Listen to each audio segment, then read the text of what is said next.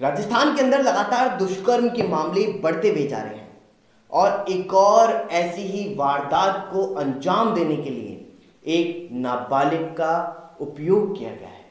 जिसमें आप सभी को बता दूँ कि ये मामला अलवर ज़िले से सामने आ रहा है और बीती रात्रि का ये मामला है, जहाँ पर एक नाबालिग के साथ में दुष्कर्म किया गया और दुष्कर्म करने के बाद में उसे रोड के ऊपर फेंक दिया गया है। रोड पर जब उसे फेंका गया तो उसके प्राइवेट पार्ट से खून बहता रहा है और इस पूरे मामले का पता जब पुलिस को चला, तब पुलिस ने तुरंत प्रभाव से उस नाबालिग युवती को अस्पताल के अंदर भी भर्ती कराया है और अस्पताल में भर्ती कराने के बाद में उसका उपचार भी जारी है। साथ ही साथ, यह घटना को अंजाम देने वाला आखिरकार कौन वह अपराधी हो सकता है? उसकी तलाश के अंदर भी पुलिस जुट चुकी है तो वहीं सीसीटीवी कैमरे भी अब तलाशने शुरू हो चुके हैं।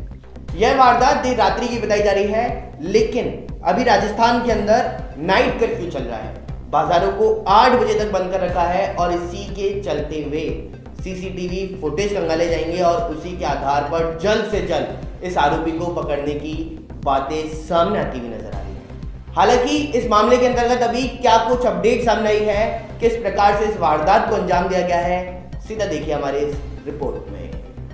रूप से थोड़ी विक्षिप्त बच्ची है। बच्ची कुछ बोल नहीं पा रही है। हालाँकि उसकी ब्लीडिंग प्राइवेट पार्ट्स में से काफ़ी हुई है। तो संभवतः सेक्सुअल असॉल्ट का मामला है। और अभी हम यहाँ मौके पे हैं। एफएसएल बुलाई गई है। तफ्तीश पूरी जारी है अलवर शहर में मानसिक रूप से कमज़ोर। नाबालिग से रेप पर तिजारा फाटक पुलिया पर रेप करके आरोपी उसे फेंक करके चले गए।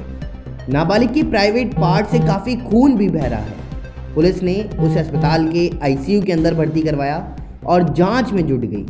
देर रात बातचीत करें तो नाबालिग की पहचान तक नहीं हो सकी थी और पुलिस आसपास की सीसीटीवी फुटेज भी खंगाल रही थी और जाँच में लगी हुई है। एसपी तेजस्वी गौतम ने बताया कि मंगलवार की रात करीब नौ बजे के आसपास तिजारा फाटक पुलिया के ऊपर नाबालिग को फेंक करके जाने की सूचना मिली थी और इसके तुरंत बाद पुलिस मौके पर पहुँच गई। पुलिस ने इन बालिका को जिला अस्पताल के आईसीयू में भर्ती कराया है। डॉक्टर ने जाँच के बाद बताया कि बालिक मानसिक रूप से विक्षिप्त लगती है, जिसके परिजनों का अभी तक पता नहीं सका पुलिस को सूचना देने वाले व्यक्ति से भी जानकारी जुटा करके पड़ताल की जा रही है और देर रात तक पुलिस आसपास के घर, दुकानों के सीसीटीवी खंगालने के प्रयास में जुटी रही।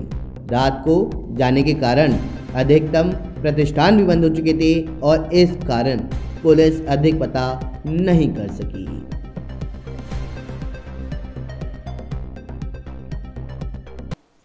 फ़िलहाल देश और दुनिया की तमाम बड़ी खबरों के लिए इतना ही। बने रहिए न्यूज़ नाइनटीन के साथ। नमस्कार।